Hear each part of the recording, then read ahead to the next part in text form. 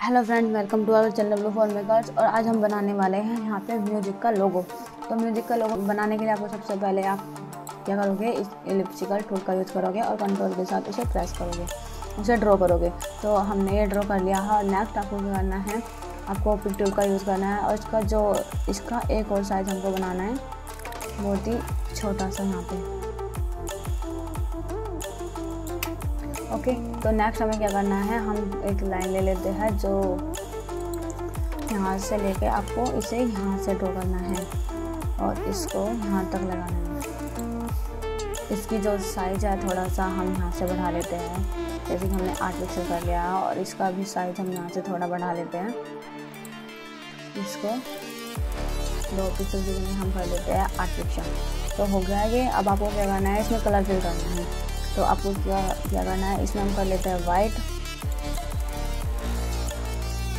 सबसे पहले हम इसमें कलर करते हैं, इसमें हम कलर करते हैं ये वाला। या फिर इसके हिसाब से हम ये वाला कर लेते हैं, और उसके बाद हम इसमें करते हैं वाइट कलर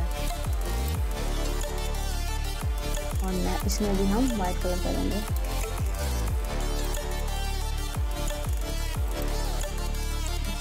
इसके तो आपका ये म्यूज़िक का लोगो बन चुका है। तो नेक्स्ट आपको लगाना है, आपको यहाँ पे म्यूज़िक लिख लेना है।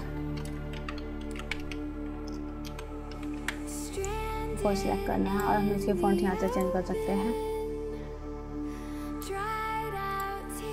ये इसकी फॉन्ट चेंज हो चुकी है, आप हम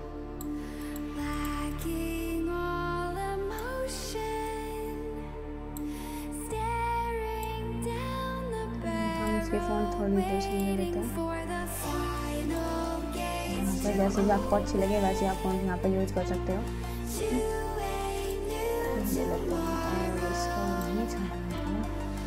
आपका लोगो बन चुका है, इसमें उनको बता देते हैं। तो आपका लोगो बनकर तैयार हो चुका है। तो देखिए फ्रेंड्स ये बहुत ही सिंपल है। इतना आसान है कि आप बहुत आसानी से इसे बना सकते हो। और ये आपको बनाने में बिल्कुल भी दिक्कत नहीं होने वाली है। अगर आपको हमारी वीडियो पसंद आई तो चैनल को सब्सक्राइब करें, वीडियो को लाइक करें और ज़्यादा से ज़्यादा शेयर करें। Thank you.